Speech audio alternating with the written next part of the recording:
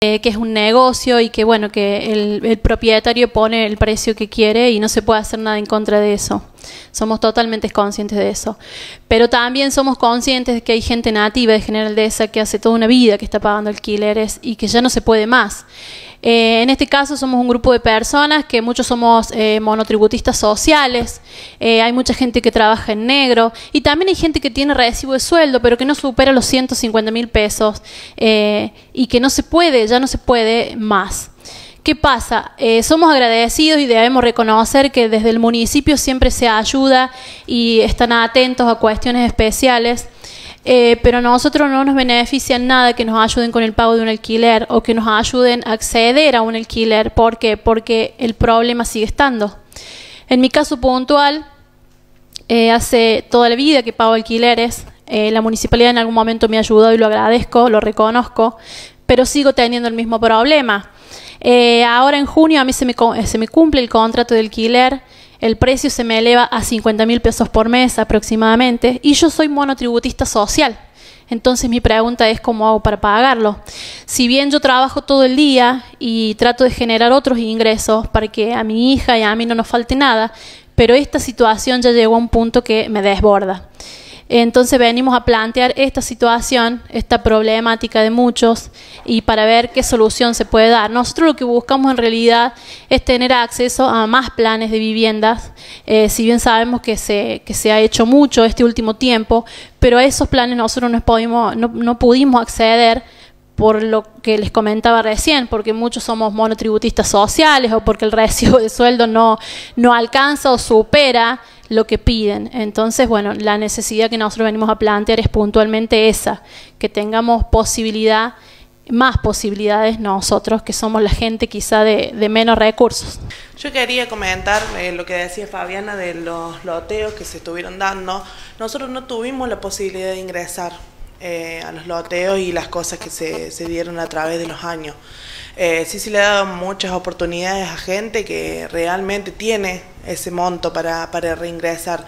Nosotros no hemos tenido la posibilidad, nosotros lo que vamos a pelear es para que se nos dé la oportunidad de poder tener nuestra tierra a raíz de que sabemos que ya los alquileres ya están eh, con su con sus leyes y todo, pero ya no, no podemos pagarlos y nosotros queremos realmente dejar de pagar alquileres.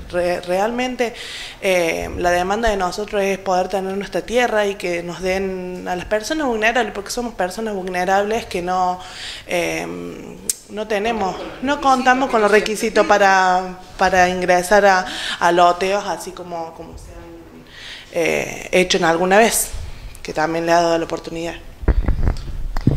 Eh, sí, yo para agregar algo más, eh, que es realmente algo que nos preocupa como grupo eh, y que tienen que saber, es que ahora sabemos que a corto plazo no vamos a tener una solución, pero también está bueno que, sepan que a fin de mes hay gente que se va a quedar en la calle.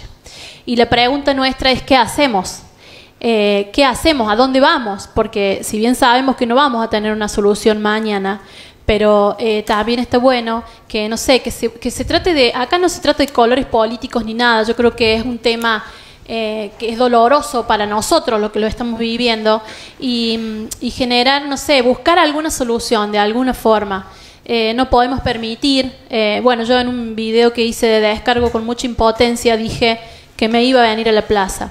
No podemos permitir que eso pase. General de esa todos sabemos que es una ciudad modelo para un montón de cosas a nosotros también nos gustaría ser parte de, esta ciudad general de ese modelo en este sentido, en el sentido de que podamos tener más oportunidades y más posibilidades de tener un techo propio.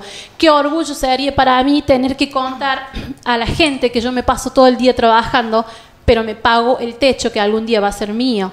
Hoy en día trabajo todo el día, llego a mi casa a veces a las 9 de la noche y estoy pagando un alquiler en donde yo no soy dueña ni siquiera, como dije en el video, de poner una planta. Ese es el tema que nos preocupa y es una necesidad que ya nos desborda porque no sabemos más qué hacer. Hay gente, como te decía recién, que se va a quedar en la calle. ¿Y qué vamos a hacer? ¿Tenemos que ir a la municipalidad a pedir que nos paguen alquiler o que nos ayuden a seguir alquilando? No, no queremos eso.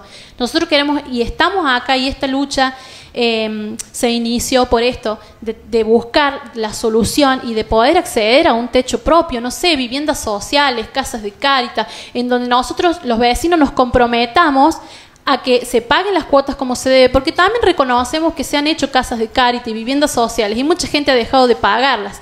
Y por culpa de todo ese grupo que no las paga, nos vemos perjudicados nosotros, que somos los que trabajamos todo el día y que realmente religiosamente todos los meses pagamos un alquiler porque tenemos manera de probarlo, pero vamos a seguir alquilando siempre. Yo no quiero, en mi caso personal, que mi hija, que hoy tiene 12 años, cuando yo no esté más en este mundo, tenga que lidiar con este tema, que es el tema que yo vengo lidiando toda la vida.